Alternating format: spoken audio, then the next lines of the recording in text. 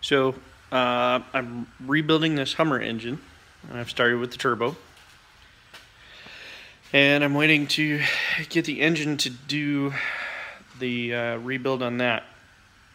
But I started thinking about doing a possible uh, Jeep Cherokee off-road build. Um, either for personal use or to make a little cash, turn around and sell it so that I can get me a Humvee.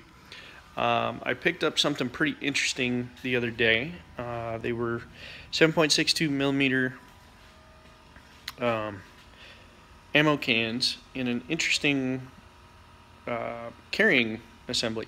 Here it is. This goes on top and all latches together. Now, these were green, but I painted them. I'm gonna make this into a first aid kit and then random other supplies there, food, emergency lighting, uh, fire building stuff, etc. to put in whenever I decide to build or into my current truck.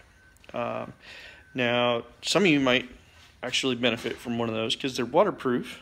So um, I'll keep you updated on anything that I decide to build. And uh, yeah, that's about it. I'm selling random stuff to uh, fund my projects so that I'm not taking from the house fund or the money we use to live off of.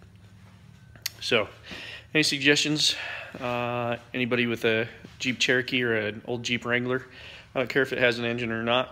I can build that. I can rebuild it. I can do whatever I want. So, um, yeah.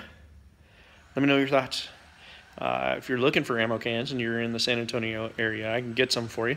I even got this big sucker right here for 20 millimeter rounds. Um, so yeah, stay tuned for more. All right, bye.